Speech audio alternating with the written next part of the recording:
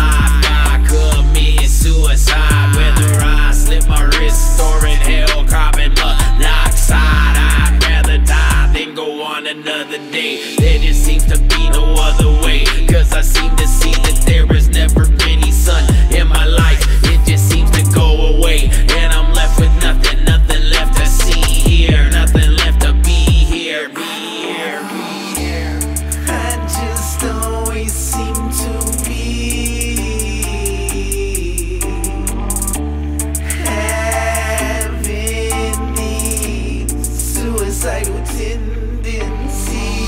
Suicide right now, it's do or die. So between you and I, should I slit my wrist or maybe slit my throat? Which one I do not know, but it's murder that she wrote. It is over for me. My life script is ending. This is the final chapter. This is the end. This is not a happily ever after type fairy tale. No telling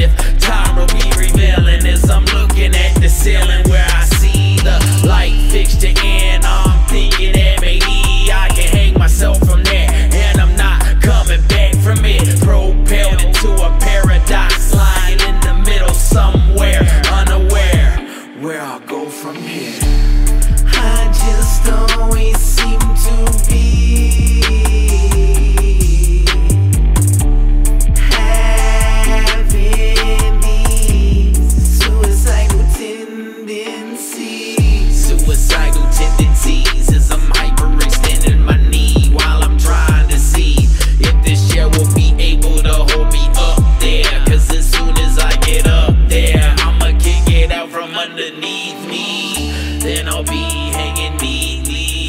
center of my room. So when someone comes in to greet me, they will then see that I just happen to be hanging, smelling, telling you about my suicidal just